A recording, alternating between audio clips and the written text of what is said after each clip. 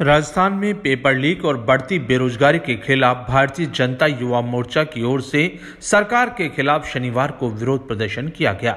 इस दौरान CM house के लिए निकले बीजेपी नेताओं और कार्यकर्ताओं को पुलिस ने सिविल लाइन्स फाटक के पास ही रोक लिया।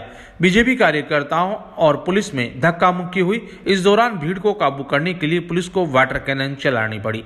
इसके बाद पुलिस ने सतीश पूनिया और राजेंद्र राठौड़ समेत सभी नेताओं को हिरासत में ले लिया।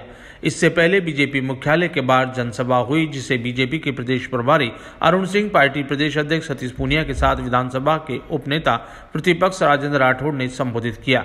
इसके बाद प्रदेश भर से पहुँचे बीजेपी कार्यकर्ता सिविल लाइन्स फाटक होते हुए मुख्यमंत्री आवास की ओर घेराव के लिए निकले।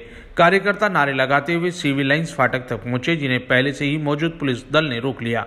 बीजेपी युवा मोर्चा के प्रदेश अध्यक्ष हिमांशु शर्मा ने कहा कि युवा मोर्चा के विधानसभा घेराव से कांग्रेस सरकार डर गई।